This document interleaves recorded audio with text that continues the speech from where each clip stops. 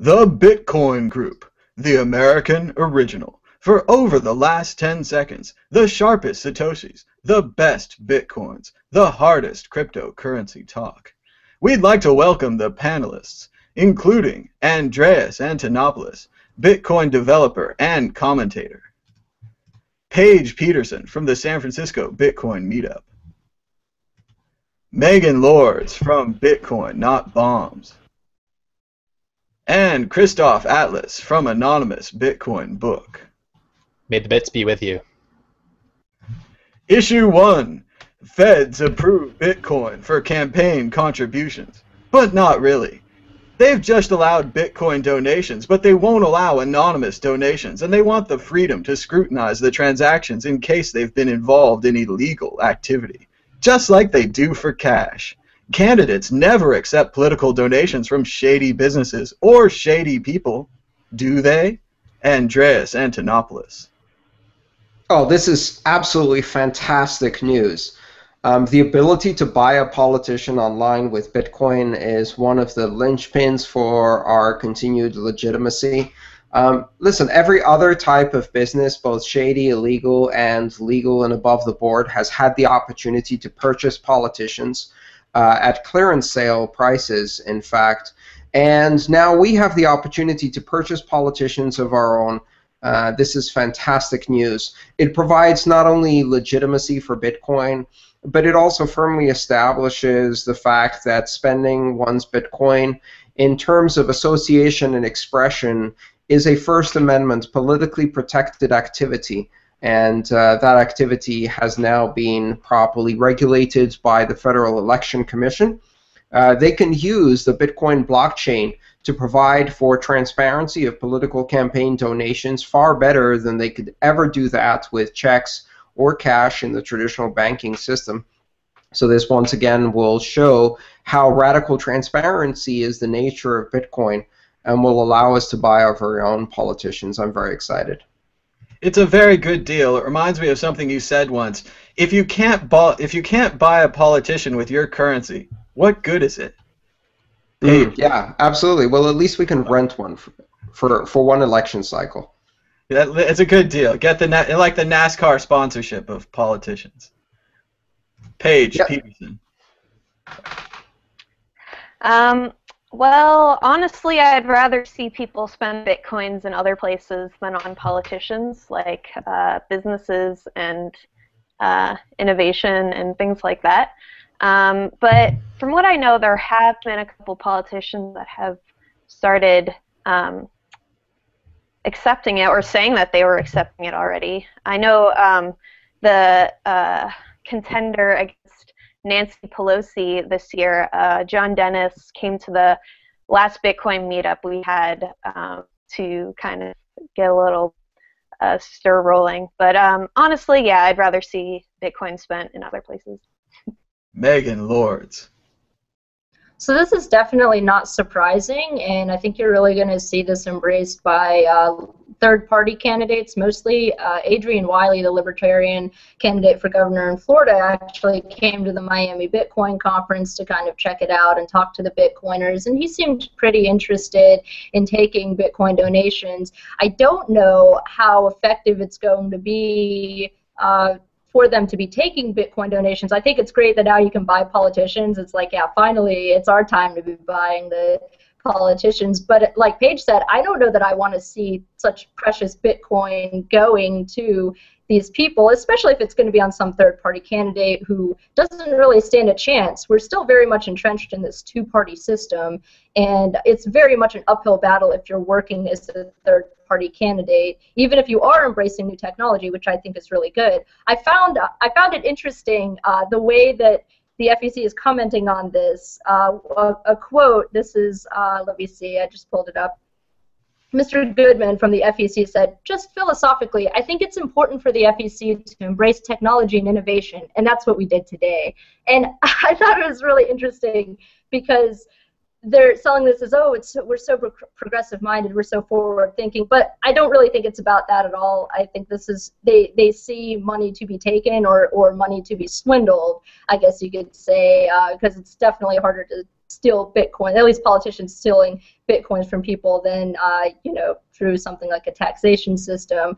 So it, it's interesting the way they were kind of spinning this. But what's also interesting is so they're going to have to track all of these donations now, and they're not allowed to spend them on things. They're not allowed to use Bitcoin so much as a currency. Like you can take them as donations, but you have to convert them back into cash if you're wanting to spend them on uh, for campaigning purposes what you know whatever they're going to buy with that. So that's kind of interesting that they tried to take that function out of the equation with this. But I, I, I think overall it's kind of great that now we can buy politicians. I mean, Goldman Sachs and J.P. Morgan are used to doing that already. Uh, I, am a bit skeptical to how much of an impact Bitcoin will have, uh, especially compared to these bankers. The FEC is a very high tech and cutting edge political organization. They're the same ones that organized all those Diebold steal your voting machines, right? They don't even have open source tabulators, the machines that count the votes. So they're very much on the cutting edge, I'm sure. Kristov, Atlas. Well, I, uh, I host a, a show on the World Crypto Network on Tuesdays called Dark News, and I talked about, on the last episode this past Tuesday, I talked about this article by uh, Daniel Krawisz. And he was talking about Bitcoin in black markets. And he was basically saying, look, um, when a black market is willing to use your, your money or your currency, that is a true test of the currency. So don't be scared of you know the Silk Road or uh, one of these other dark markets using Bitcoin. It really means really very positive things for Bitcoin.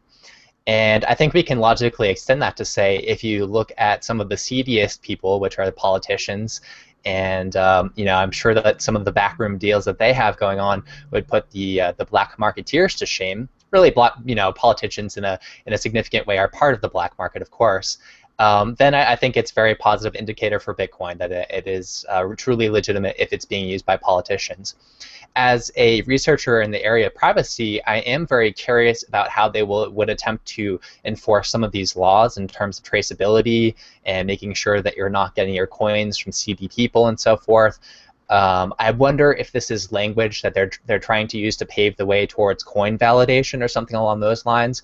But as long as something like coin validation cannot exist on a unanimous scale within Bitcoin, I'm not quite sure how they would possibly hope to enforce these laws. Um, uh, trying to, tr- if you're trying to trace payments uh, against people that are really working hard and have a significant financial incentive to not be traced.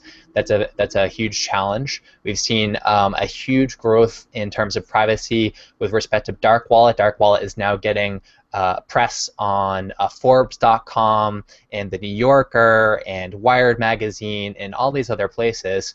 And so this this privacy issue and this anonymity issue is really at the forefront of Bitcoin right now. And so of course the, the issue for these these regulators is if some politician takes uh, dirty money, um, are they going to be able to make it fake it and make it look like it's coming from a, a clean source or um, you know someone that's that's more reputable? So I'm, I'm very curious to see how that all plays out. It seems like a very unenforceable law if you put up a Bitcoin address and someone sends you a quarter, how are you going to know where they're from? So I just don't get it. I think what you're, you know, go ahead. I, th- I think what you're going to see is, uh, in fact, uh, they're going to use intermediaries in order to request that you first enter some identifying information like your first and last name and your address, similar to what they do for credit card donations, and that's going to solve the problem. And then you can uh, not publish a transactional address, and if you do receive donations from a transactional address, bounce them back to the origin address. Um, and that's how most politicians are going to resolve this in a way that allows them to receive uh, Bitcoin donations. But I'm very excited about this. The well, bottom line if there's big money involved, my question would be, does that not just shift it to an identity theft problem? Yes, without a doubt. But as long as you're able to provide sufficient uh, independent identities, as they do today with cash and credit card donations, then it doesn't really matter. Um, I, I, I don't think you're really going to see that issue pop up. But really, what this does is underlines the idea that uh, the possibility of banning Bitcoin entirely, at least in the United States, is now pretty much a moot point. You can't do it anymore. Uh, once you've established the legal basis that this is a means by which you can contribute to political campaigns, that puts Bitcoin uh, in a legal position which is very, very difficult to attack. Uh, and that's great news for Bitcoin and, and cryptocurrencies in general. Moving on, issue two the Department of Justice. The Department of Justice is recruiting new businesses for Bitcoin. Maybe not the businesses you want, but the businesses you get. The DOJ has launched Operation Choke Point to drive businesses they don't like into accepting Bitcoin by cutting off their access to the traditional financial system. As many know, the DOJ is also one of the major holders of Bitcoin thanks to the ongoing Silk Road situation. What do you think of the DOJ's latest Bitcoin promotion? Are cash and Bitcoin only the future of business? Paige Peterson.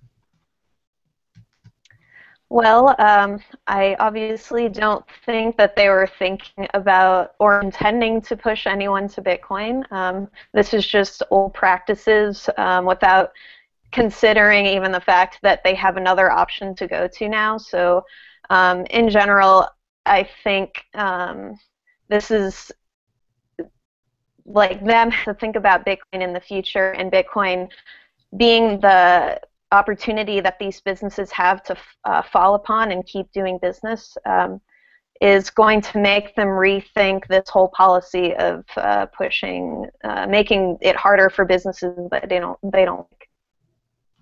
It does seem like they're pushing businesses out of an arena that they control into an unknown arena. MK Lords.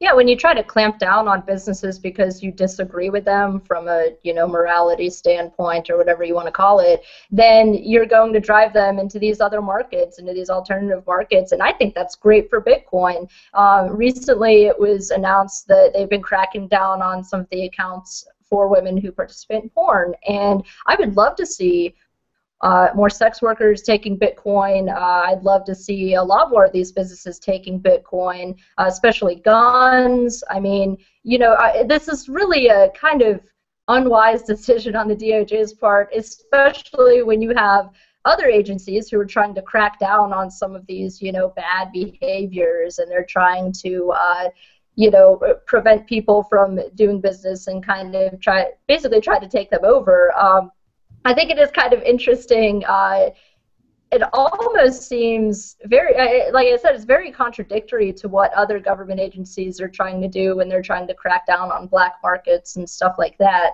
So, uh, yeah, this is very interesting, but I, I also think it's really good for Bitcoin. Kristov, Atlas. Yeah, um, first, isn't it amazing that we live in a world where there's something called the Department of Justice? That can do that, and we call it the Department of Justice with a straight face, or at least some people do. You know that that that kind of blows my mind. Uh, oh, let's shut down the bank accounts, or let's pressure banks into shutting down the accounts of uh, female porn stars because we're the Department of Justice. What? You know, like it's just it's um it's it's really quite a world that we live in. Um, and yeah, I think it will drive more uh, stuff into the Bitcoin space, of course, and I, just yeah, it seems like such a it's such a stupid move in terms of having uh, control over uh, capitals that I can only think that this is a directive that has come down from people that do, do not quite understand how cryptocurrencies are going to challenge capital controls. Um, you you only think that this is a smart move if you think that people have to use the banks and therefore the the power that you exert over banks is going to uh, encompass all of their financial activities, but that's no longer the case now. And so um, I can only assume that the people that came up with this idea just have not grasped it yet. Andreas Antonopoulos. I think it's important to look at this in the context in which it is occurring and look at it clearly for what it is. The executive arm of the government is deciding that 30 categories of business that are perfectly lawful under current U.S. law are not desirable and is applying executive and administrative pressure on private corporations to ban these businesses from operating in the financial environment. That should be absolutely appalling and horrifying to any freedom loving person because what it represents is not just executive overreach. Listen, if you want to think that these 30 businesses should not exist, then go to Congress and uh, pass a bill that makes these activities unlawful. And if you cannot pass a bill that makes these activities unlawful, then those activities are lawful by definition. The executive using power that it has over the banks through coercion through the regulatory system to achieve legislative goals is a violation of the separation of powers of the three branches of government in the United States, and a coalition between the executive administration and uh, private corporations in the forms of banks to apply their own particular flavor of morality in direct violation of the laws of this nation has one word and one word only, and that is fascism. Now, it may be soft fascism, and it may be fascism that is applied to people you don't like, who are uh, doing activities that you find distasteful, like porn. But nevertheless, this is a gross violation of the rule of law. And it is a massive violation of due process because the people most affected by this are small businesses and independent entrepreneurs and private individuals. And it's not just porn. It's payday loans. It's uh, uh, all kinds of other activities that have nothing to do with uh, uh, with seedy businesses, but are simply undesirable to the Department of Justice because they want to exert an iron fist control over all financial activities of the citizens of this country. And we should be very worried because if you accept this kind of executive overreach in the case of uh, pornographers or uh, porn artists or payday loans or check cashing operations or gambling or firearm sales or God knows what else they have on that 30 industry list, then that's a long and slippery slope that leads to the executive being able to exert its own particular case of morality. And make no mistake, the big banks are not being excluded from making payday loans.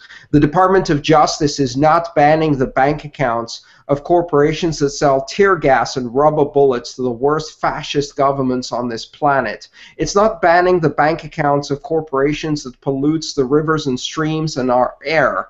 It's not banning the bank accounts of corporations that are slaughtering animals in inhumane conditions and introducing poisons into our food and our environment. It's not banning the bank accounts of uh, organizations that are exporting war industry and droning people from above. No, it's applying its own particular version of puritanical morality without any backing of law in the most fascist way possible. And so um, I think we should be appalled by this. And it has nothing to do with Bitcoin, really. What it is, is the perfect demonstration of why government should never have power over money, because that power corrupts absolutely. And when you give government that power, they abuse it to achieve goals that they cannot achieve through the normal democratic and legislative process. Absolutely. First, they came for the pornographers. Exit question. Which category of business do you think will go cash and Bitcoin only first? Paige Peterson. Uh, so there's already been a lot of gambling, online gambling uh, businesses being run in completely Bitcoin. So um, maybe not the gambling in Vegas or where it's like state regulated as well, um, but um, yeah, I would say online gambling for sure. Online gambling. MK Lords. Uh, I would say uh, guns, uh, people who deal with guns, drug dealers, or sex workers. I think uh, any of those people would would I mean drug dealers especially mostly deal in cash. So I, I think those would be great categories to become Bitcoin only or cash only, as you know some of them already are, and it'll be beautiful because it will prove, as if it needs proving, but it will prove that you cannot stop this activity from going on no matter how much you dislike it, and that there will be other routes people can take, and then we'll have more people in Bitcoin too. So. I think it's it's really refreshing, and it could stop a lot of unnecessary trips to the ATM once they just accept Bitcoin directly. Kristov Atlas. I think uh, medical marijuana dispensaries are definitely in a good spot to do that. They've been getting a lot of harassment uh, with regards to you know accepting credit cards and having bank accounts and whatnot. So I think Bitcoin could be a good option for them. I imagine that they have a slightly uh, skewed user base towards young people, and so um, they might their users might be more likely to you know get Bitcoin and, and be able to jump on that more quickly. Absolutely. It's another case where previously their controls used to work, but now their controls are actually liberating their victims. Andreas, your thoughts? I'd like to think of the uh, people that the current banking system doesn't serve, the other six billion. And surprisingly enough, we have a big chunk of that uh, right here in the United States. Uh, some 18% of the population of the United States, the adult population of the United States, do not have bank accounts. That affects some 60 million people in this country. The uh, family uh, head, heads of household as well as the rest of the family. So that includes both uh, illegal immigrants, itinerant workers, as well as the working poor. Uh, who, through bureaucracy, high fees, uh, limited access, and various other issues, do not have access to banking services and banking facilities. And so, giving access to uh, many of those people to systems that allow them to have access to international markets, international credit, uh, liquid credit, loans, uh, as well as uh, be able to transact. Uh, that becomes increasingly a necessity, and the more the government tries to control and narrow uh, the financial services that are offered to everyday uh, consumers, the, the bigger that group becomes. It's another great time for that with the banks cracking down on free checking accounts. More and more, everything requires a fee for a bank account. Yes, Moving consumer on. checking is not profitable anymore. I know, and that's a great time for Bitcoin to come out as a competitor to consumer checking. Issue 3 Doge Car. Doge, car, Doge car. The NASCAR field was joined by a unique competitor this weekend. The first ever NASCAR to be sponsored by a cryptocurrency. No, it wasn't Bitcoin. It was Dogecoin. First the conference, now the car. What's next? Landing rovers on the moon? No, seriously, they might do that. Dogecar and Dogecoin. The best promotion or the best promotion ever? Kristov Atlas. Or MK Lord, sorry. Right so that's all right. So I'm not the biggest fan of NASCAR, but I did grow up uh, with my mother who really, really loves NASCAR. She's a huge NASCAR fan.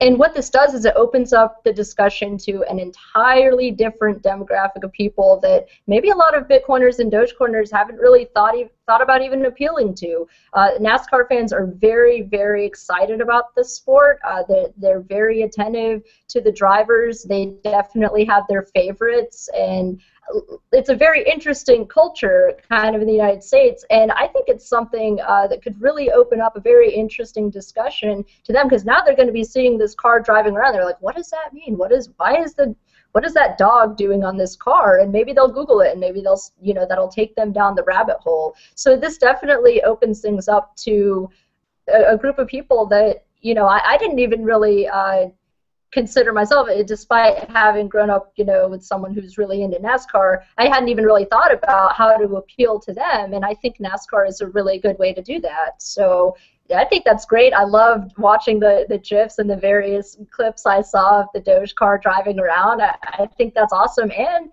he placed really well too. Uh, 20th place out of 40. That's actually pretty good uh, by NASCAR standards. So it's it's really interesting. Uh, it was very exciting to uh, kind of see develop. So. And it was pretty good. He didn't even have a team out there. Imagine if he had the Doge car, the Litecoin car, the Bitcoin car working together as a team. We could have gotten even closer to first. Kristov Atlas. Well, I did watch the race on Sunday, and I was I was out there live tweeting it with with you, Thomas, and. Um, I don't think I've ever watched a NASCAR race before, so I think for NASCAR it seems like a pretty good deal that they had lots of people tuning in that had never had uh, never, done it before.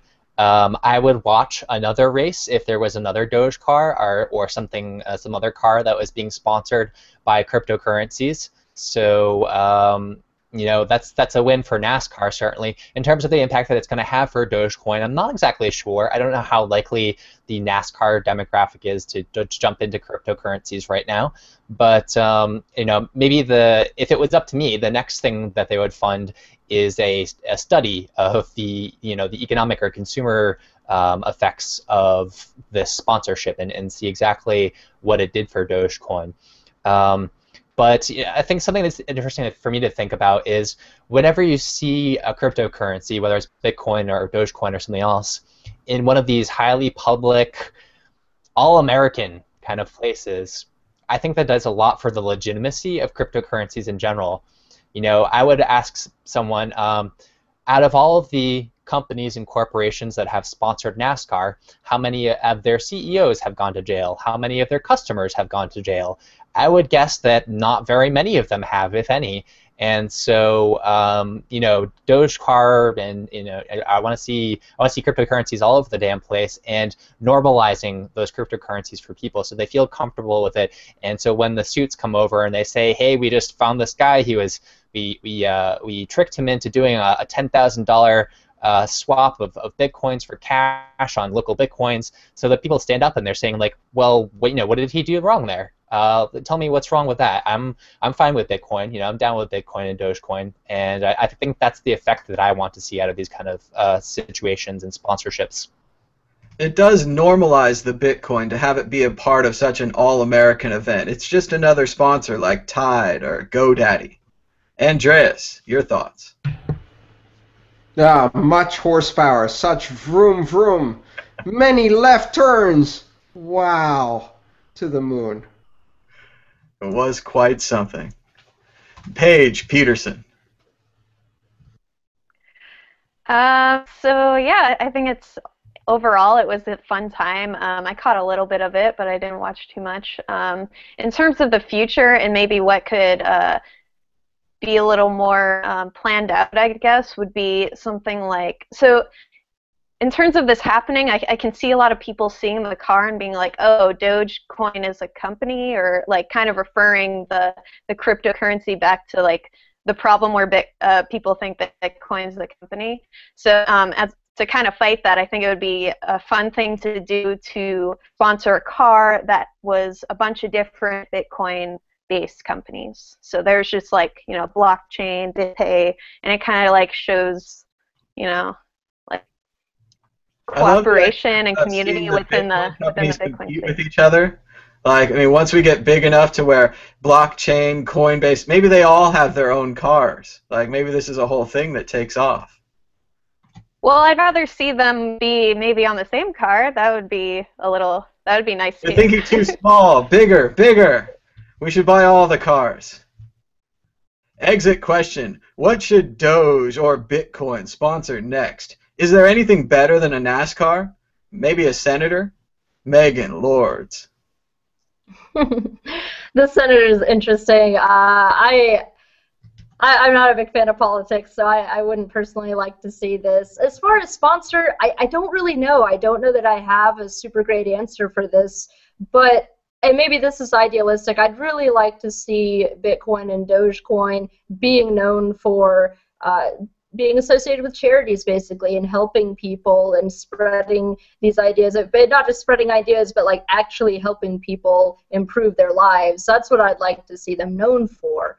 I, as far as who they would sponsor, I don't really know. Kristov Atlas. Hmm. Um maybe another sport, uh, maybe like a, an MMA fighter or something like that. That seems like a an area that would be ripe for cryptocurrency penetration. How about fencing? You never hear about fencing anymore. Andreas. Yeah, I, I, I think um, maybe sponsor some some dog rescue charities, uh, especially for Doge, but for Bitcoin more generally, I think uh, addressing issues such as homelessness and poverty um, are, are more important. I, I've never really understood the commercial sponsorship sponsorship of large sports events. Uh, but that's probably because I've never understood large sports events. But hey, that's just me. I'm just a geek. well, we've got to have bread and circuses. You know, bread and circuses. Uh, maybe the North Shore Animal League would be a good sponsor for Dogecoin. I know Howard Stern is very involved, and maybe if we could get on Howard Stern's radar, we could get a little press. They could get. I know they're building an incredible facility for the animals. It's all um, cage free. It's uh, finan- uh, Billy Joel recently chipped in a lot, so maybe North Shore Animal League if you got some extra bitcoins. Paige Peterson. Um, so, in terms of having the most impact, I'd probably say continuing to sponsor various conferences where there's a lot of technology people and a lot of developers present to kind of get the word out and show them that there are big companies um, around the space and um, just continue that uh, attraction for developers and people that are already uh, could be interested to help the economy grow. It does seem like there's a new conference almost every month, and that's something I'd like to see keep going. More conferences. Moving on to issue four, Blockchain Awards 2014. Nominations announced. They had over 900 ballots cast, but they've narrowed it down to the top three in categories like most creative video, most impactful charity, and even Bitcoin champion. Voting is still going on today at bit.ly slash vote mad. Who will win? Who should win? Your thoughts? Kristov Atlas. Um, gee, I wonder who you're trying to get people to vote with with that short URL. I don't. Hmm. I saw it on blockchain.info. It's you know it's probably yeah it's probably completely impartial. Um, of course I voted for Mad Bitcoins because I'm a big fan of that show. I think it's a fantastic show and deserves everyone's vote. I did look through the rest of the survey and uh, mostly I noticed that I had not heard of most of the people that were involved in it, especially in the area of like, I guess I have my kind of my niche in, in Bitcoin. You know, I do a lot of stuff in terms of security, privacy, and so if someone uh, lives off of Bitcoin and uh, for a week or a month or whatever it is, then I won't necessarily hear about their story because I don't really tune into that stuff as much. So that was my general impression of the the competition was I hadn't heard of most of those people. Andreas Antonopoulos. Oh, I think it's uh, it's a great program. Uh, I'm glad uh, the company I work for is uh, working with uh, the foundation, who I also kind of work for for the uh, committee for the other six billion. And so um, I actually tried to withdraw my nomination uh, because I see it as a conflict of interest, and uh, unfortunately that didn't quite work. But uh, we'll figure it out. I, I think it's a great program, and I wish all the luck to all of the contestants in this award program. It's going to help, especially some of the organizations that are doing things uh, not for profit, to get a bit of funding. Um, and I'm glad my company is supporting that. Paige Peterson. Yeah, similar reaction to Kristov. Um, I basically probably knew one uh, choice out of each category. I feel like we all probably chose the same options. Um, I think it's like you, I don't know, and it was really strange for me to see it and not recognize a lot of the names in there too. So, um, yeah, obviously, I, I voted for Mad Bitcoins and um, Andreas and Roger Ver and um, yeah, similar similar liberty oriented people. MK Lords.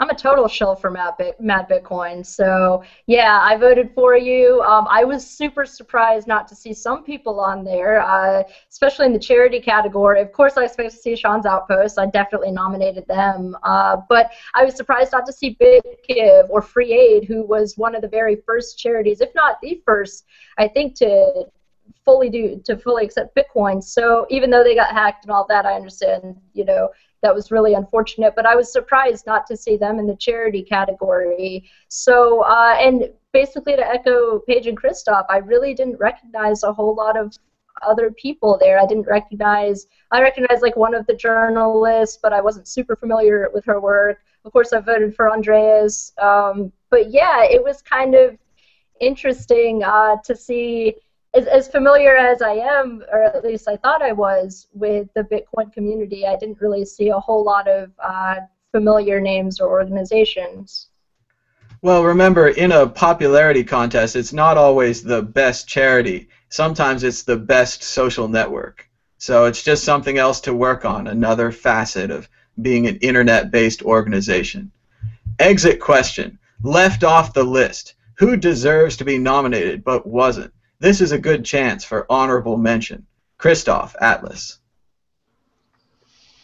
Oh, geez. Um, in terms of the, terms of the journalists that I'm the most interested in, I think of people like Jon Matonis, who has written some great articles uh, in the area of financial privacy. Uh, sorry to keep bringing up the same damn topic over, over and over again, but that's what I live and breathe all day. Um, uh, obviously, Fr33 Aid would be a great candidate in terms of the charities. So those are a couple of them that come to mind. Andreas Antonopoulos. I'd certainly add uh, BitGive and Fr33 Aid to the charity category. I think uh, we could have had more options. We didn't just need three for the voting process. We could have had ten. I don't see why we only had three nominees, but then again, I didn't organize this. Um, in terms of the journalists, I have a lot of respect for people like Bob McMillan and Andy Greenberg, who now works for Wired, used to be with Forbes. Uh, both of them write uh, excellent editorials. Um, and yeah, uh, I think a, a, broader selection would have been nice. I agree with uh, Andy Greenberg for sure. Mm-hmm. Paige Peterson. Um, yeah, in terms of reporters, I didn't really recognize them. Um, I definitely second uh, Bob McMillan and also uh, Kashmir Hill. She's um, she's the one that did uh, the week living off of Bitcoin, which she's actually doing again this week. So I think that's a really interesting experiment to do to kind of like and she tends to like go to the communities and the meetups and like kind of surround herself in it and so i think that's um, something to go off of. But and thing i didn't add to uh, the general statement was i would like to see um, this voting process or i would have liked to seen this voting process mimic the way that let's talk bitcoin did podcasts. Um, i think um, they could have done uh, a little more uh, experimentation with the whole like being able to use the blockchain as a way for voting. Yeah, Kashmir Hill's uh, series on Bitcoin has been great, and it's great to watch it a year later to see how San Francisco has changed, to see how Bitcoin has grown up and gotten better. Also, uh, Life on Bitcoin, the movie, and maybe even uh, Bitcoin Not Bombs, the Hoodie for Homeless campaign, and all the other things that they do. MK Lords.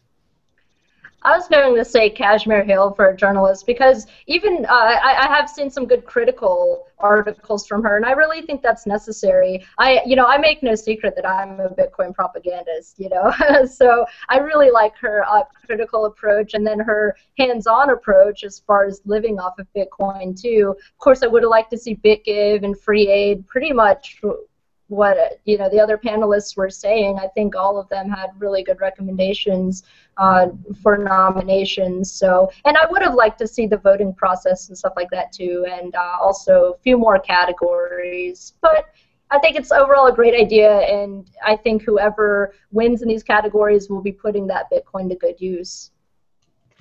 Very good. Moving on to questions and answers. Your questions are answers. The first question the Bitcoin network could use more full nodes, non-mining one, and non-mining ones. Andreas says he runs some nodes in the cloud. Can you please point us to directions for running a Bitcoin node in the cloud? Also, does geolocation influence the utility of the node? Yes, Andreas, this one's for you.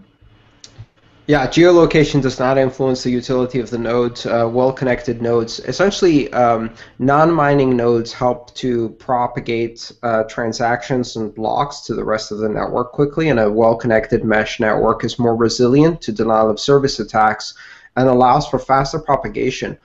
Um, in order to uh, run a free node, here's what you can do. Amazon Elastic Cloud has a free micro tier the micro tier allows you to run a node for free. Now, it's not really useful for many things and it's very constrained in terms of memory. But if you properly tune uh, an installation of bitcoind or the Bitcoin Core client, um, you can run a bitcoind on a micro uh, free tier instance for free on Amazon EC2, and you too could be running a node. Very cool. We have a couple of uh, other category nominations. Perhaps Dorian Satoshi Nakamoto for Best Sport. We've also got some comments. Yay, Mad Bitcoins, and Andreas for the win. Um, is drawing political lines in the sand. Bitcoin represents freedom and liberty. Bravo. Preaching to the choir, but then slowly expanding exponentially. Uh, other people agree they hadn't heard of some of the nominees, but again, that's a good part of the nominees. Maybe these people deserve attention. We just haven't heard of them, and now we have. So that's good. Uh, we have a request to invite Kashmir Hill on the Bitcoin group. I think she'd be welcome if she'd like to talk with us about Bitcoin on Fridays.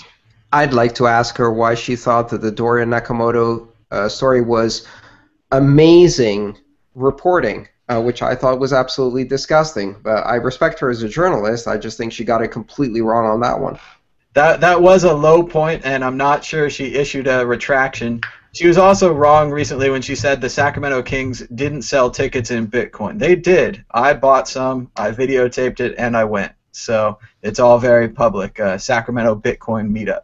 Shout yeah, out. we we can't always get it right. Uh, we all make mistakes from time to time. I'll be the first to admit that, but um, it's it's worth coming back and revisiting some of those. And their their website did update. It doesn't show the tickets as offering anymore. Uh, of course, basketball season is over, so there are no tickets to offer. But uh, let's see, more questions. Uh, let's see. Oh, we're kind of running out of questions. They say, uh, "Love your hair today, MK," and Paige, you're bad. So, I think that's about it for questions. Uh, how come I never get comments on my hair?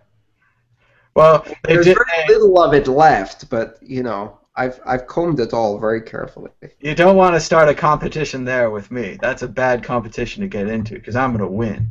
But uh, that was we do, sweet. We do have a comment about Andreas's tweet. They say they love your tweet that Bitcoin is not a terrorist threat. People bombing wedding parties from above is a terrorist threat. Go investigate yourselves. So yeah, I figured there's a couple of watch lists I'm not on yet, so uh, tweets like that will definitely get me uh, on those uh, watch lists. It's it's the simple truth. Uh, if you define terrorism as killing civilians in order to achieve a political goal, then we have to be uh, very careful about how we look at the American drone program and its implications for world peace and its implications for our own security and safety and the blowback it causes. I think it's uh, blatantly hypocritical to look at Bitcoin as a source of terrorism when those who are investigating it are responsible for one of the programs that kills more civilians around the world uh, than any other program. So, yes, that is the truth. Uh, it may not be the truth you want to hear, but it is the truth.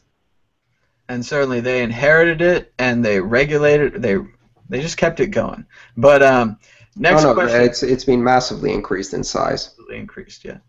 Uh, and just uh, normalized is I think what I was going for. They've normalized the program, so now it's a part of presidential life. Of course, the president has drone powers to kill anyone he wants in the world. That's a standard part of the presidential package.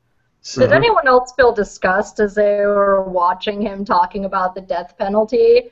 I mean, really, like this is a person who kills children all the time. Like, how how could he have any kind of opinion on the death penalty. Just saying. There's, a, there's jokes about his, his uh, authorities with drones. Well, I have a, I have a very simple question. If you think that this is a lawful program, uh, then it should be perfectly lawful when applied in a different context. If there is a fugitive um, from another foreign government who is uh, hiding on the Jersey Shore on uh, the uh, broad, broad walk uh, in Atlantic City, and a foreign drone comes overhead and uh, kills that target to prevent terrorism in another country and uh, blows up a limousine with innocent bystanders, that is acceptable collateral damage. That is the position we take against other countries, and if it's good for them, then it should be good for us. If you think that is a lawful program, uh, then you need to examine it more carefully. And of course, President Obama was an attorney. So he was an attorney. So, but yeah, I absolutely agree. Collateral damage is the key there. We have a question from Terrence Yang. He says, "What is the number one single most leveraged thing we can do to help Bitcoin cross the chasm and go more into the mainstream?" Anybody's thoughts on this? Just everybody. I'm going to repeat the same thing I say every single time and the thing I do every single day, which is give one or two people Bitcoin help them experience the power of Bitcoin, see how fast it's transmitted, see how easy it is. Uh, give them the power of money as an application, money as a content type. persuade a taxi driver to take Bitcoin. Don't give them Bitcoin for the fare because they won't be open to it the first time, but tip them in Bitcoin. Or talk to them about Bitcoin as you're taking a taxi ride and offer to install an application and, sh- and give them some. Give two or three dollars to two people every single day uh, to demonstrate the power of Bitcoin. If everybody did that with two people, uh, we would get this uh, meme spreading virally to more and more people around the world, and it's the best way to experience Bitcoin. Yes, I, I definitely agree with that. And if you're out anywhere, um, whether you're at a restaurant or whatever, especially if it's one that you frequent regularly, ask every single time, do you take Bitcoin? Just planting that little seed of you know that word is just enough. People will remember that over time and tell everyone you know just keep talking about it. And uh, just just talking about it will really uh, kind of plant that seed. And of course giving bitcoin away too that's one of my favorite ways to get people started with it add a slight air of inevitability do you take bitcoin yet yes yet is key absolutely I'd like to see that. So let's see. Um, we have a good question. How can the FEC stop someone from donating more than $100 worth of Bitcoin? But Andreas had a very good point on this. They could hide the address behind several layers of information that you'd have to fill out to get into their system, and that should presumably stop that. I mean, I guess there is a bit of confusion if you donated $99 in Bitcoin, but by the time they cash it out, it's worth $102. Uh, something like that could be an issue. But I, I, uh, don't think that's going to be too much of a problem. You're going to mark to market at the time of the donation, and that should be enough for the limits. Uh, I would expect that this is a really good application for merchant processing companies. If I was BitPay, I would be building a, a, campaign donation interface that collects the necessary information and reports it, that applies the limits, and also that bounces back payments that are um, higher than the amount uh, allowed or payments that come in without the corresponding identity information. And then you've got a, a, a perfectly comfortable, easy to use campaign finance uh, platform that uh, uh, candidates can use and convert directly to dollars, not see any of the details, and it opens up a whole new market for Bitcoin. It's a great idea. I think they could use an American flag for the theme. Some kind of American flag would be great. We've got a question about USA Today. Did anyone see today's USA Today? They replaced their logo with the Bitcoin logo. Uh, some people are wondering if it's actually real. I saw it on their actual website, so I, I would confirm it's real. Uh, the paper version had it as well. It wasn't just the website. The paper version that got delivered to you know hundreds of thousands of subscribers, um, all of them hotels, but nevertheless, hundreds of thousands of subscribers today um, had a Bitcoin logo instead of the USA Today logo. Someone there secretly likes Bitcoin, I think. That's interesting. They did it in the uh, the hard copy in the paper version as well. I thought it was just kind of some pandering for the online. Because sure, you could change the logo online. It takes five seconds. I mean, nice work. But uh, in the paper is something else. That's cool. Yeah, I think awesome. we're we're seeing all of these indications that uh, Bitcoin is becoming part of the zeitgeist, and that's a really important threshold for Bitcoin. Uh, it's now becoming quite rare to talk to people and ask them, uh, "Have you heard of Bitcoin?" and have no reaction whatsoever. They're still giving us a re- relatively negative reaction, but they've at least heard of it. Uh, and so that that's really the point where we hit around 1993, 1994 with the internet where it started entering the the common uh, vocabulary and became part of the media narrative on a very regular basis.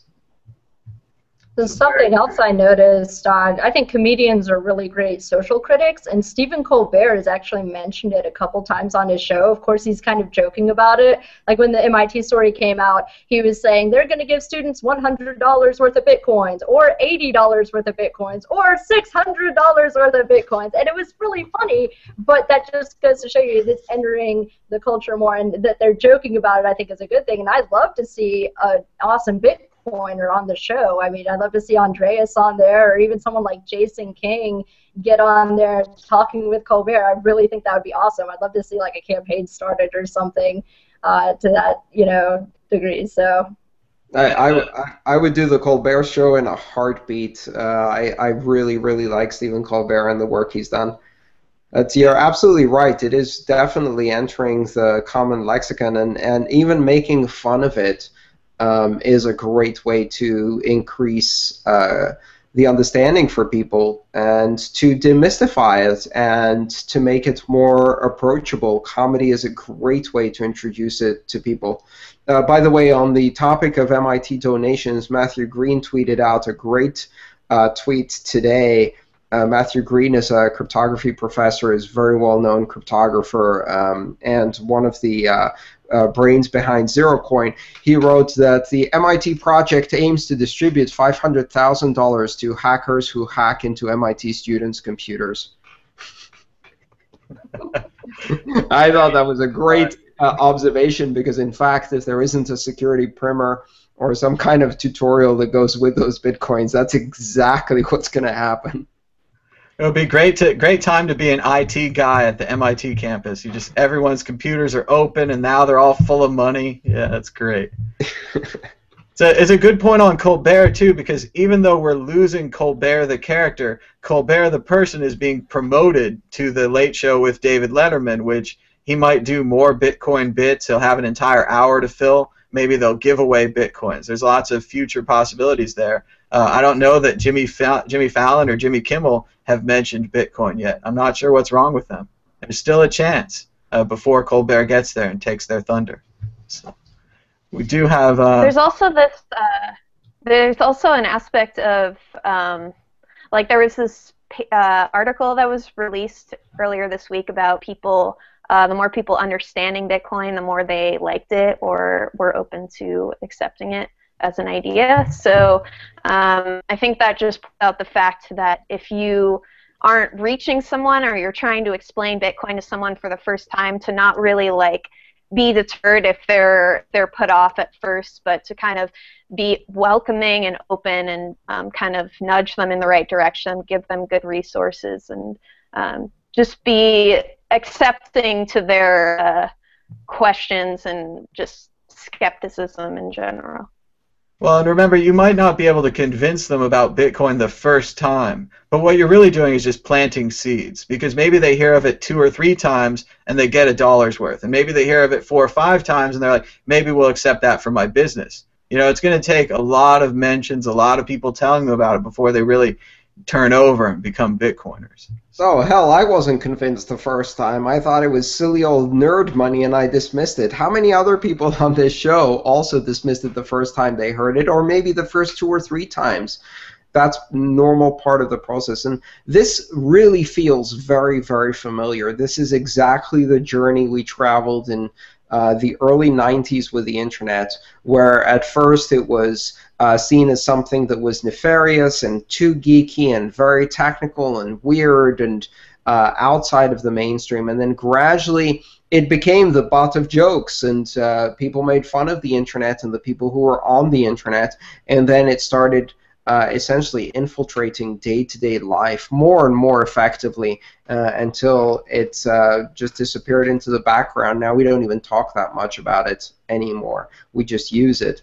Uh, I think that's uh, gradually we're seeing the same thing happen with Bitcoin. Think about this: three years ago or two years ago, how many of us would have thought that in 2014 USA Today would have Bitcoin replacing its logo even for a day. That's that a popular comedian would be talking about it, and the Federal Election Commission would be accepting it for campaign donations. And all of these things happened in just one week. This would have been staggering year-making news just a year ago, and now it's just this week's news come a long way. It seems yeah. like a lot long, a lot further than just a year for even that. But our last question today: How will digital currency affect the poorest people in the world who don't have access to the internet? It's going to take a, a long time. It's definitely going to take a long time because you need to combine bringing the technology of Bitcoin down to more accessible levels one of the projects that I'm very interested in is working to make uh, Bitcoin wallets more accessible on feature phones. And feature phones are essentially old style phones that only do text messaging and, the, and not smartphones.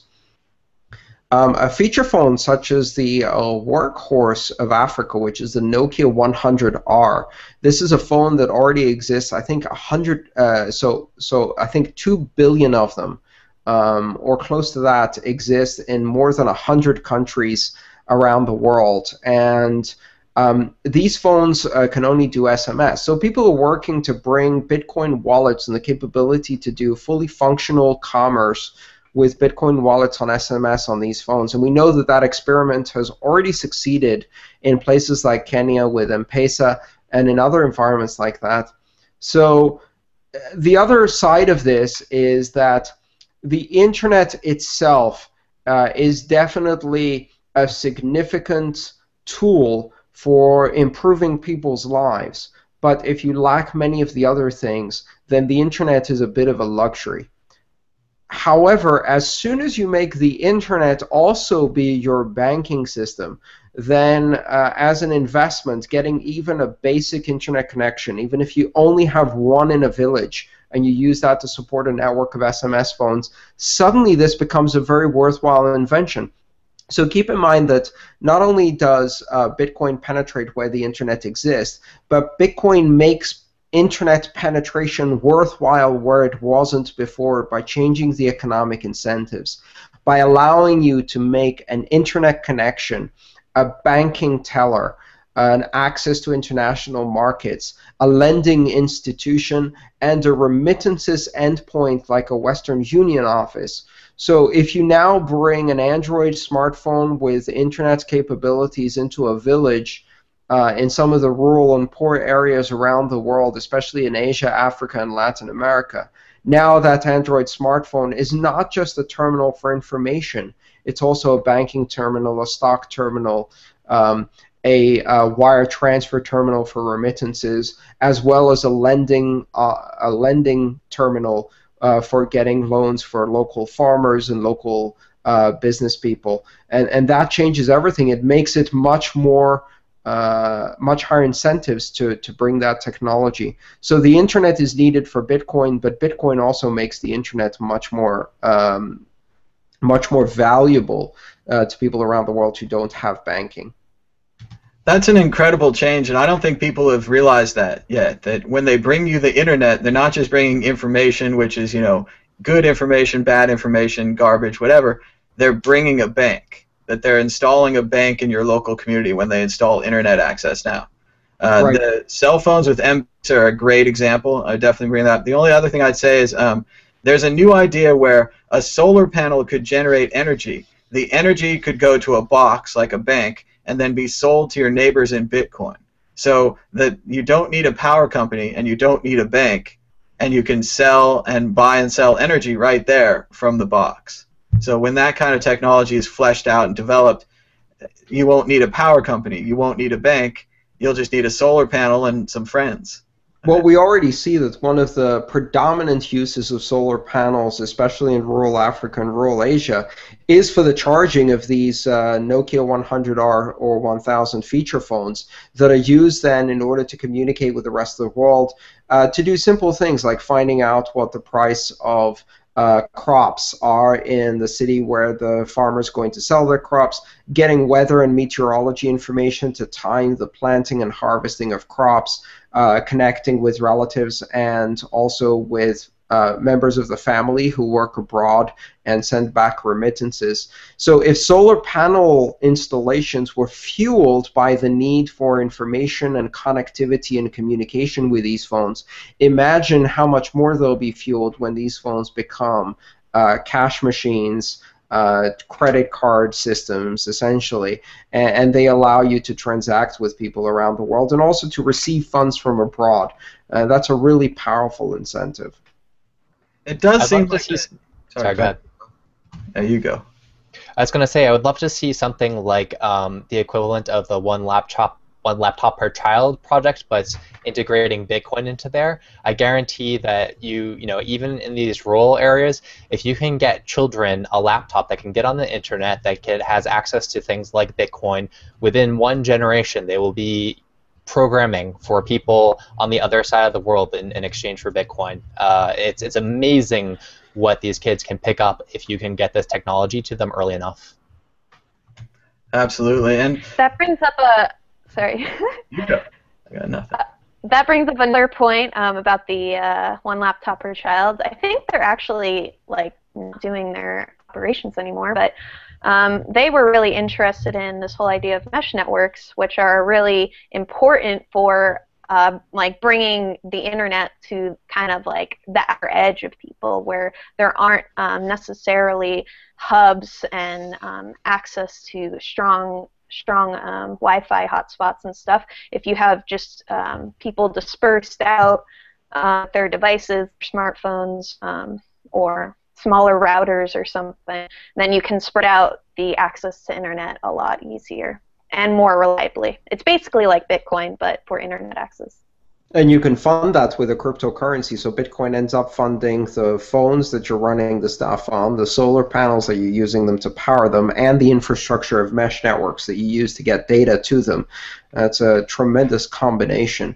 Uh, Bitcoin is the fuel that makes decentralized infrastructure like internet thrive. I was just going to say that the technology seems really close, but the projects seem far away.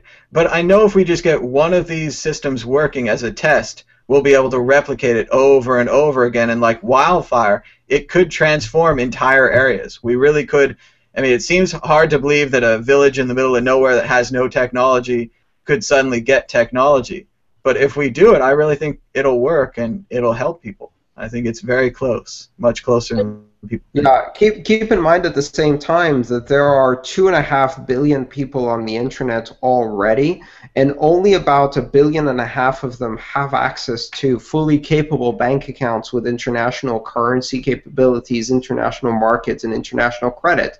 The other billion we can bring online onto Bitcoin right away and change their life in a dramatic fashion by bringing currency, and they can then influence the communities around them and provide the incentives to extend the internet even further. In countries that already have penetration of infrastructure, penetration of cellular telephony, as well as literacy and numeracy that is required to adopt these technologies, and in many cases, countries that are already English speaking or uh, which you know we have to um, accept the fact that for the time being uh, Bitcoin is documented and coded primarily in English, so that's one of the barriers to entry. Well, India and the Philippines, uh, just as two examples, are countries with great infrastructure penetration, enormous issues with poverty, uh, and they have the literacy, numeracy, and uh, very large numbers of English speakers to be able to wire up the country uh, for cryptocurrency. And also that technology is such a threat to uh, very tyrannical governments who have such a lockdown on their people. I recently interviewed Michael Malice, who's written a book on North Korea, and it was, I mean, it's a very, very, very difficult situation there. They don't have internet, but what they're able to see is they're able to see across the river into China, and they're able to see every night when the sun sets all of these lights and all of this electricity over there, and a lot of people escape, and the problem that you have when people scare the problem it's a problem of government killing their families when they escape. But what they've done is the urge to protect their families is so strong. They're exploiting black market means to get money back to their family to bribe the guards to not take their family away. And this has been increasing. So this urge for freedom is very strong in even the most repressed countries. And while north korea is a really long way from uh, you know, having this technology, the more it spreads around the world, the more uh, you, you, know the better it is for everyone the more empowering it can be for all people. And you can only stay an island so long. And in the case of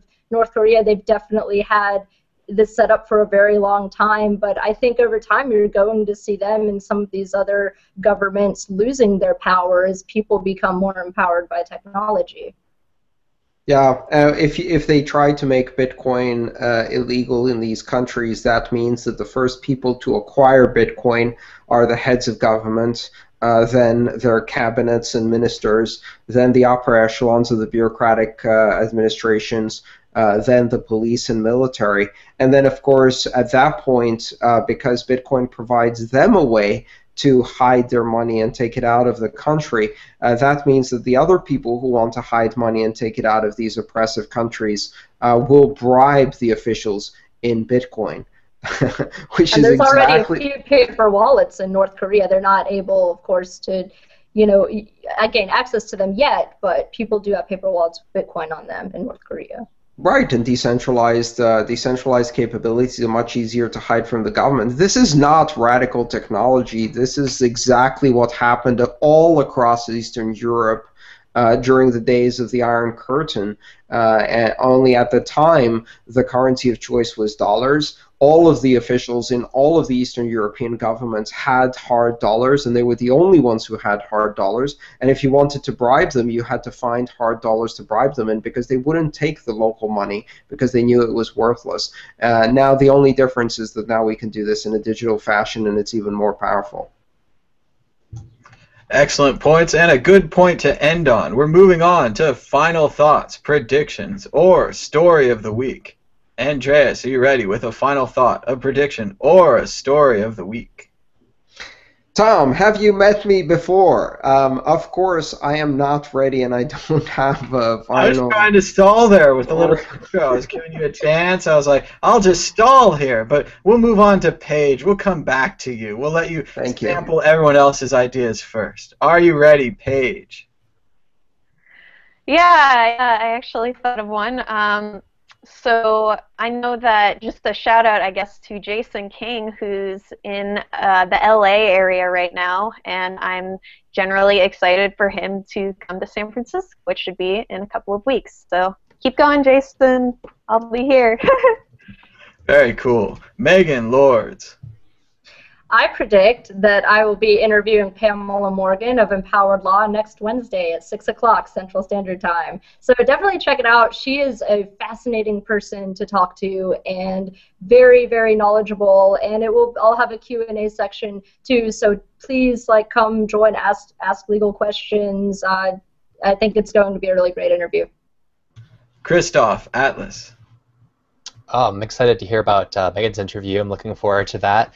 Um, something that I've been following re- lately is the press around Dark Wallet. How how are people reacting to Dark Wallet, especially since it's been uh, the, the the charge has been led by Cody Wilson, which you know at this point a lot of people are familiar with Cody through the 3D gun printing stuff, and I'm really impressed by the amount of attention that it's getting. I noticed that Mike Hearn uh, posted today um, an article on Medium.com about stealth addresses, and so I'm excited to see to get some more attention to these very important um, privacy technologies in the Bitcoin space. Uh, Andreas has brought, brought this up before, and I agree with him that eventually we're going to get to a point in Bitcoin where the protocol and a lot of the software starts to ossify. Um, it's going to be harder and harder to make changes to the protocol uh, from a forking standpoint of view. Uh, there's going to be hardware that has, you know, that's that's kind of set in stone. And so privacy is one of these issues that we absolutely need to solve, that we need to tackle before that ossification takes place. We don't want we want Bitcoin to be a force of liberation in the world. We don't want to be a part of the surveillance apparatus. We don't want it to be hogtied by the degree to which people can track uh, transactions online. And so I'm really, really excited to see the amount of tension and the amount of energy that's going into these technologies to help to help uh, basically protect people from thieves of various forms. Andreas, we're coming back around again. Are you ready? No, well, I'll I'll try an easy prediction. Uh, I predict that uh, next uh, next week at the Amsterdam conference, uh, one of the members of the group for the other six billion, the committee that's been working on issues of poverty, will be releasing an early draft of our white paper on the remittances market, looking at both why this is a problem that needs to be urgently addressed, why Bitcoin offers an opportunity to address it in an entirely new way, and what uh, applications, uh, but also what challenges exist in implementing Bitcoin as a foundational currency uh, for creating global flows of remittances uh, from the developed world uh, to developing nations such as Mexico, Indonesia, um, the Philippines, uh, India, and Pakistan, which are some of the greatest recipients of uh, remittances. Uh, that's a paper we've been working on for a while, and uh, we're looking forward to feedback. So that's going to be seen soon in Amsterdam, and that prediction is based on a very strong probability of that happening. Very cool. When in the course of human events, you might get nominated for a few awards. It's important during times of great adulation like these to stay humble. Don't let it go to your head. Don't go buying any trophies or statues or chocolate cakes with three different types of frosting, packed with alternating layers of cake and frosting, cake and frosting. How would Horatio Alger have handled this situation? I'm sure he would have just pulled himself up by his bootstraps and dove right in. And then eat more cake.